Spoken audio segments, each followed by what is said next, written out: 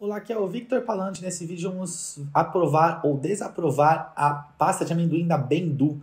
Tá? Então é uma pasta legal. Eles, eles têm aqui três opções. Vamos ver aqui o de beijinho, que é a opção vegana deles, né? Bom, a gente então aqui vê que tem 450 gramas, 36 reais, então é um preço um pouquinho acima, mas é questão de se o sabor for, bo for bom, por que não, né? Arriscar, comprar e, e, e, aproveitar também, que a nossa dieta às vezes é tão sofrida, né? É bom ter uns incentivos, umas coisas gostosas para dar aquele ânimo. e bom, aqui a gente tem a tabela.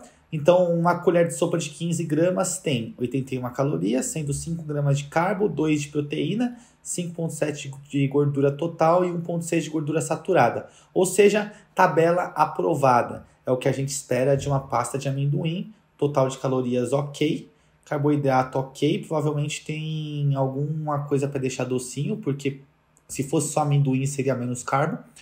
Ah, gordura, beleza, é gorduroso mesmo, amendoim é gorduroso e proteína tá ok, tá dentro também. Vamos ver os ingredientes. A gente tem amendoim, cobertura de chocolate branco vegano, zero açúcar, maltitol, óleo de coco, leite de, coco, leite de coco em pó, coco ralado e stevia.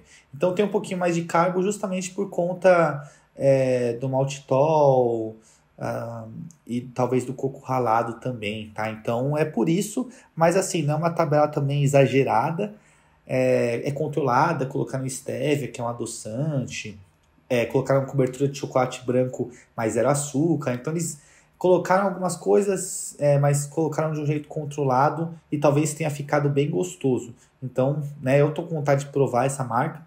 É, e se você já provou, comenta aí no, no nosso vídeo para a gente saber opiniões de quem já conhece a marca. Beleza? Vamos ver aqui outra opção, ver se é igual à tabela. Vamos pegar aqui o chocolate branco crocante.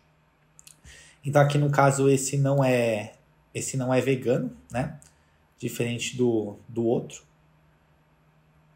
Aqui a gente tem adoçado naturalmente, zero adição de açúcar, uh, sem glúten normal, né? Amendoim não tem glúten, rico em fibras. Vamos ver aqui a tabela.